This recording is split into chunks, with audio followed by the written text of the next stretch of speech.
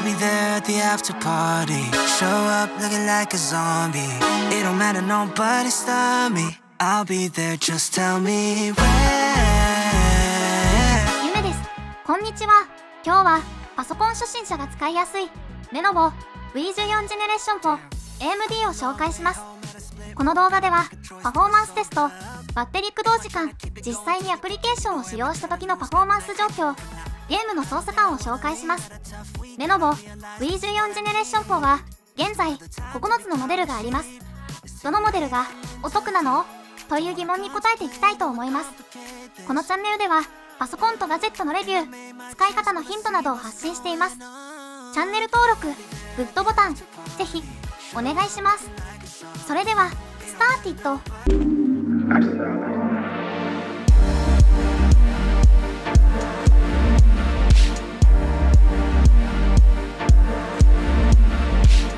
レノボ V14 ジェネレーション4はビジネスに最適なスタンダードの音という位置づけのレノボブランドのモデルです。4つの CPU、3つのグラフィックス、2つのメモリの種類を組み合わせ同じ製品名で現在9つのモデルがあります。5万台から13万円台という幅広い価格の製品があります。モデルによってどういった特徴があるのかを解説します。4つのプロセッサーのモデルがあります。それぞれの CPU に内蔵 GPU の組み合わせがあります。4つの CPU のベンチマークのグラフでの比較はこんな感じです。GPU の内容はこんな感じです。それぞれのモデルに対しての操作イメージはこんな感じです。AMD Ryzen 5 5500U は日常のオフィス作業や軽い写真編集に最適です。AMD Ryzen 3 7330U は一般的なネット検索や文書作成など基本的な日常作業にぴったりです。AMD Ryzen 5 7520U は日常のオフィス作業に加え軽い動画編集ができます。AMD Radeon 610M グラフィックスは基本的なグラフィック作業にも対応します。AMD Ryzen 5 7530U は難しいオフィス作業。より高い処理能力が求められるビデオ編集や軽いゲームに適しています。用途や予算に応じて選べる幅広い選択があります。日常に十分なモデルからデータ量が多くないハイスペックな作業ができるモデルまでが揃っています。つまりオフィス作業ができるモデルからちょっとした動画編集ができるぐらいまでのモデルが揃っています。そしてスペックとパソコンのバランスでコスパの良いモデルが揃っているのが特徴です。ビジネスブラックのスタイリッシュなボディはどんなシーンにも馴染みます。メッシュの凹凸があります。汚れにくく汚れが取りやすくなっているのがポイント。重さは測ると約 1.32kg で公式では約 1.43kg です。一般的な14インチノートパソコンの重さです。ディスプレイは IPS 液晶です。色の再現性が高く広いし赤く滑らかな色と明るさが特徴です。写真やビデオ編集など色の正確さが重要な作業に適しています。インターフェースにはいろいろな種類のポートがあります。必要なポートが全部揃っているのでどんなデバイスも簡単につなげられます。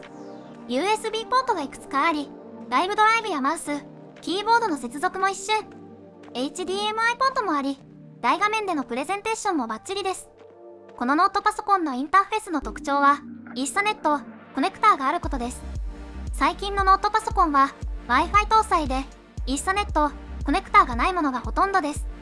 セキュリティの厳しい会社では社内のネットワークを LAN だけに限定している場合があります。LAN を利用する必要がある方に嬉しい機能です。さらに Wi-Fi6 と Bluetooth でインターネットや周辺機器とのワイヤレス接続もスムーズ。作業効率がぐんと上がるのも魅力の一つです。キーピッチを見てみましょう。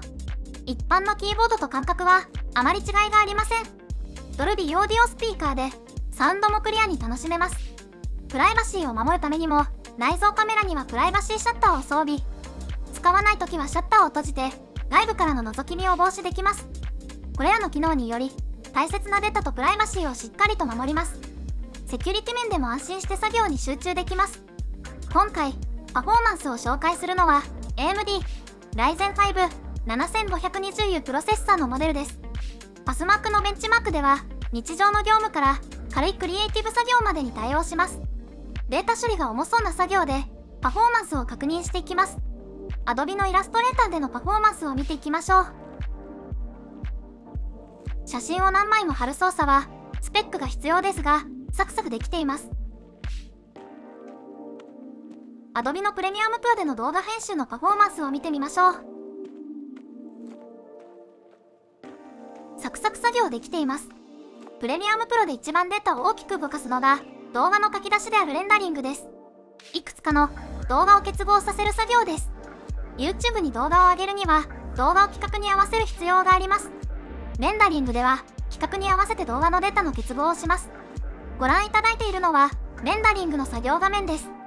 5分の動画4本と音楽を合わせたレンダリングは約16分でした。動画編集はできますが動画レンダリングなどの高負荷処理は苦手なようです。今度はゲームをプレイしてみましょう。ここでモンスターハンターライズという人気ゲームをしてみます。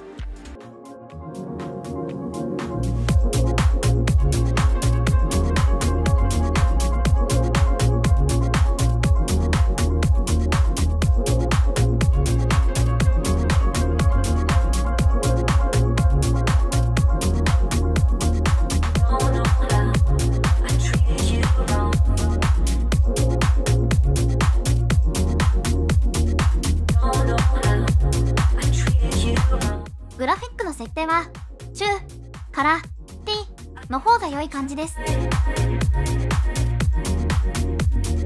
人物が動いている時のバックの背景に隠す気が見られます。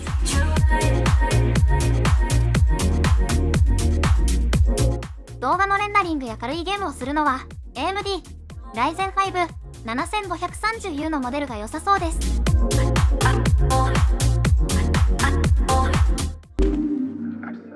V14 ジェネレーション4 AMD は事務作業からクリエイティブ作業に対応するモデルが揃っています。モデル別に見るとオフィス系のアプリや大学生には AMD Ryzen 5 5500U AMD Ryzen 3 7330U AMD Ryzen 5 7520U 短い動画の編集軽いゲームもチャレンジしたいという方には AMD Ryzen 5 7530U がおすすめです。どのモデルもシンプルな機能でコスパの良いモデルです。価格重視の方におすすめのノートパソコンです。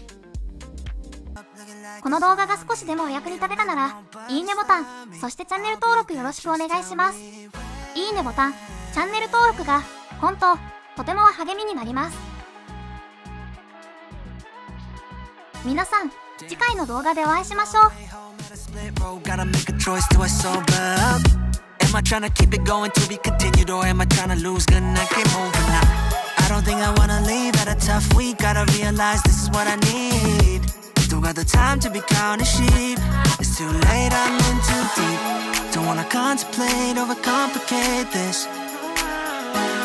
And I made my choice, wanna see what's going on. I'll be there at the after party. Show up looking like a zombie. It don't matter, nobody stop me.